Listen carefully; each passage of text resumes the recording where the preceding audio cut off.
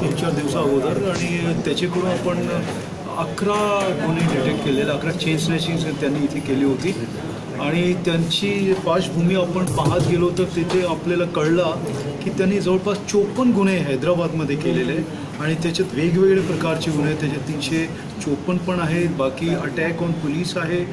तसेच ते बाकी चेन स्नॅचिंगचे गुन्हे आहेत. आपल्या इथेही त्यांनी इथे एक गँगसारखा बनवला होता आणि त्याच्यात तो ते लोक लोकल लोकांची मदत घेऊन क्रिमिनल्सची मदत घेऊन ती ते इथे त्यांनी गुन्हे केलेले होते. अकरा गुन्हे डिटेक्ट झालेले आहेत. त्याचे जवळपास सोळा तोळे आपण सोनं रिकवर केलेलं आहे आत्तापर्यंत तसेच दोन मोटरसायकली जप्त केलेले आहेत. त्याचे दोन साथीदार आपण इथे अरेस्ट केलेले आहे. आता पुढची याच्यात कारवाई चालू आहे आणि याच्यात अजून त्यांनी काय काय इथे केलेलं आहे ते आता पी सी आरमध्ये आहे तो. तर पुढे ही आपण कारवाई आपण चालू ठेवलेली आहे. पोलिसांच्या इथून तो हा पोलीसच्या ताब्यातून पळून आलेला होता. हातकडी सोबत तो पळाला होता तिथून आप- आपल्याला अशी माहिती मिळाली. आहे तो खतरनाक आहे. तो जशी आपण त्याची पार्श्वभूमी बाहेरून बोलवलेली आहे हैदराबादवरून तर त्यांचं असं म्हणणं आहे.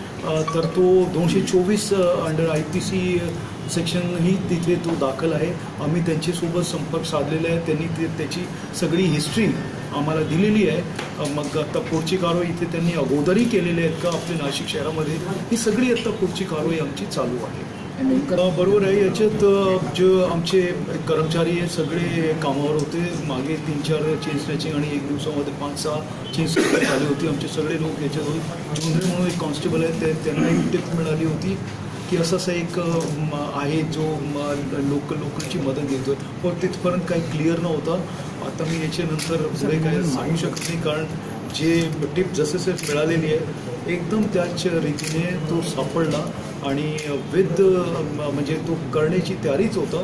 मोटरसायकली त्याच वेळेस आपल्याला मिळालेली आहे आणि रंगे आपल्याला पकडले नेमकं किती लोक